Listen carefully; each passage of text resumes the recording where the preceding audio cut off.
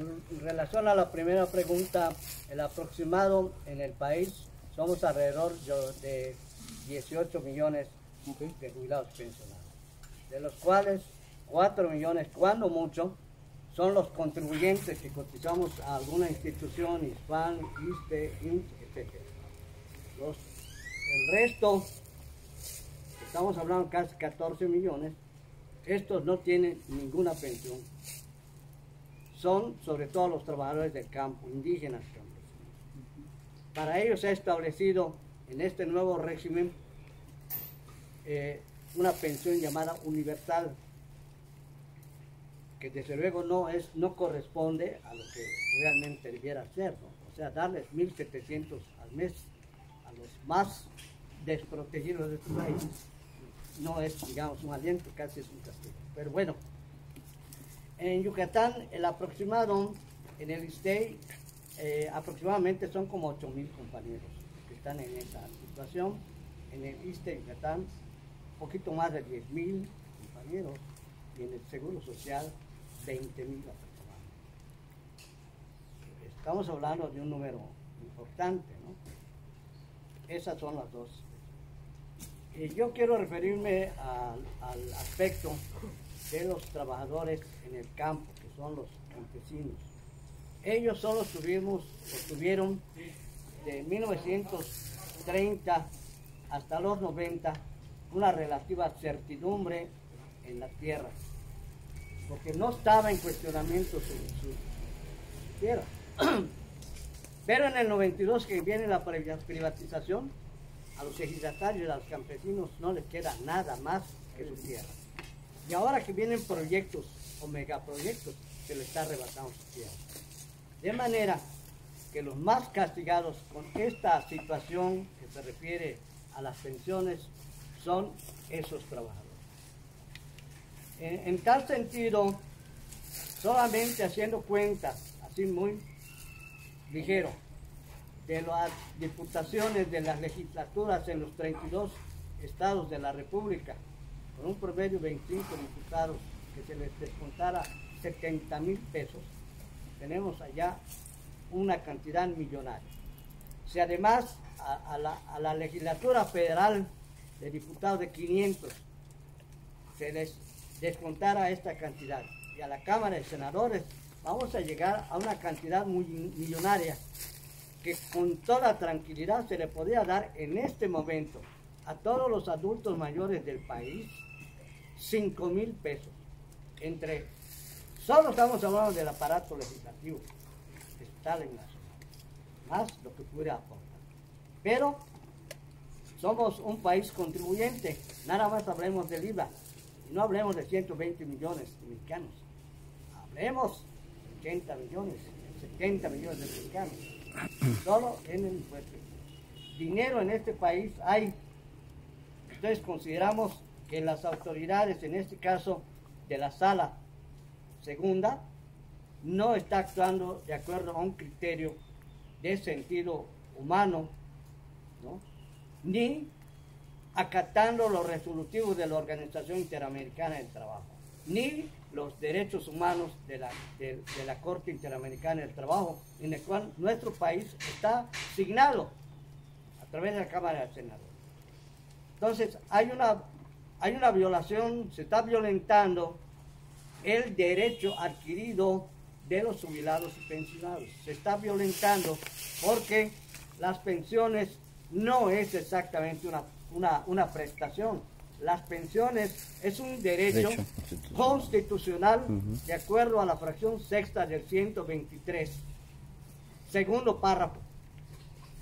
Entonces, no es una prestación como por ejemplo un estímulo, un bono, porque llega puntual y te lo doy y que al término de tu relación laboral desaparece. No, estamos hablando de un derecho ya adquirido que es el salario constitucional y remunerativo.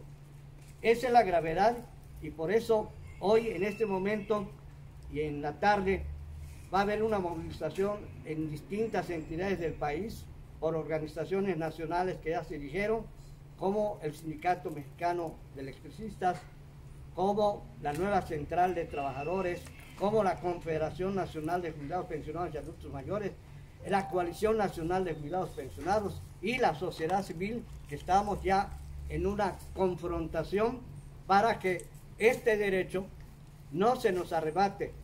No debe ser retroactivo para nada y no debe ser aplicado para las generaciones que vienen. Entonces ustedes están rechazando eh, lo que va a votar la Suprema Corte de Justicia a este respecto. Es decir, hay una reducción de, los, de, los, eh, de las pensiones e, efectiva. ¿Pueden explicar esto con mayor claridad puntualmente? Porque es un poco complejo, vaya, con todos estos apartados y tecnicismos que nosotros, yo, yo al menos, pues, no, conozco. Sí, en, el documento que les entregamos, se ve claramente cómo la brecha entre el valor del salario mínimo y el de la UMA se ha ido haciendo más amplio. Sí. Sin embargo, eh, hay una justificación que dan las autoridades diciendo que esto beneficia a los trabajadores en activo, que porque los recursos que se ahorran en pensiones, es más, fíjense muy bien, como dicen, los recursos que se ahorran en pensiones, es decir, nosotros somos los pensionados y jubilados, costeamos el incremento salarial que se da a los trabajadores activos. Ellos dicen, no aumentamos, no hay presupuesto para pagar salarios mínimos a las jubilaciones y pensiones. Mm, Ellos mismos reconocen que debería ser en salarios mínimos, pero no hay los recursos, dicen, porque al trabajador en activo le aumentamos el salario. O sea, estamos subsanando lo que ellos están proporcionando al trabajador. Pero ellos, cuando usted habla de ellos, ¿se refiere a la Suprema Corte de Justicia o a quién? No, Creo que la Suprema Corte de Justicia, como también especificamos en el documento, solo dio respuesta a una demanda o a una petición que las autoridades del ISTE hicieron. Entiendo. Pero esas autoridades responden a la línea de un ejecutivo. ¿sí? Esto es claro, porque si hubiera voluntad del ejecutivo para proceder con justicia, en la Asamblea de Jubilados de la CENTE, desde el 2006, 2007, que ya se hacían estas modificaciones en contra de los trabajadores, está demandando el no a la UMA y no a las AFORES. ¿sí? Ahora que sale esta sentencia, se ve claramente, ¿verdad? Se ve claramente la afectación, no solo a los jubilados y pensionados, se ve que es hasta los trabajadores en activo, porque el SAT tiene una ley en la que dice que si rebasas el valor del tope salarial, tú ya vas a pagar impuestos, vas a pagar impuestos sobre prestaciones y sobre tu mismo salario. Entonces, si te aumentan por arriba del tope salarial, te pasaste 200 o 300 pesos, te van a quitar hasta más en impuestos. ¿En qué beneficia al trabajador en activo? No lo beneficia y en cuanto a las pensiones, pues por esta diferencia que se ha estado abriendo entre el salario mínimo y la UMA, por ejemplo, mensualmente, ahora, si un trabajador gana un salario mínimo, recibe al mes 4.300 pesos en salario mínimo, pero el jubilado solamente recibe 2.724 pesos. Ya está. Al, mes. Al mes. Y aquí sabemos seamos realistas, la mayoría de los jubilados y pensionados reciben dos o tres salarios mínimos, si bien les va. ¿sí? ¿Esto qué quiere decir? Que por cada salario mínimo ahorita hay una diferencia mensual de 1.500 pesos. Si tú te jubilaste y con dos salarios mínimos, ¿sí? tienes una diferencia de más de 3.000 pesos al mes que te está perjudicando. Entonces seamos, como le digo, ¿quién puede sobrevivir dignamente con una pensión de 5 mil pesos al mes. ¿sí? Eso es lo que reciben la mayoría de los jubilados y pensionados. En sean del sector salud, porque no mm. todos los del sector salud se jubilan siendo médicos. Hay muchos administrativos, hay camilleros, hay intendentes que se jubilan con uno o dos salarios mínimos. Y si se jubilan por incapacidad, por alguna lesión sufrida. Aparte le mochan, ¿verdad? Porque solo van a recibir el 70 o el 60% de su salario mínimo. Entonces, ¿a dónde nos está llevando esto?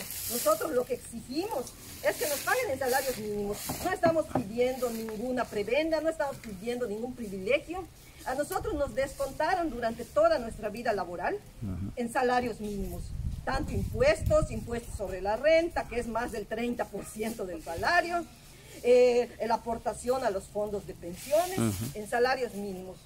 Entonces lo justo es que nos paguen en salarios mínimos. Lo que están haciendo ahorita claramente es un robo a todos los trabajadores. Muchas no gracias. Se puede llamar de otra forma, señores. Para abundar,